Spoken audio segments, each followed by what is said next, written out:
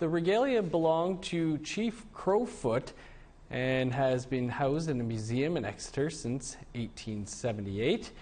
A buckskin shirt, leggings, feather bundle, and a horsewhip will be returned to Siksika leadership on May 19th. Once brought back to Canada, the items will be on display at the Blackfoot Crossing Historical Park, where Treaty 7 was signed and where Chief Crowfoot died in 1890.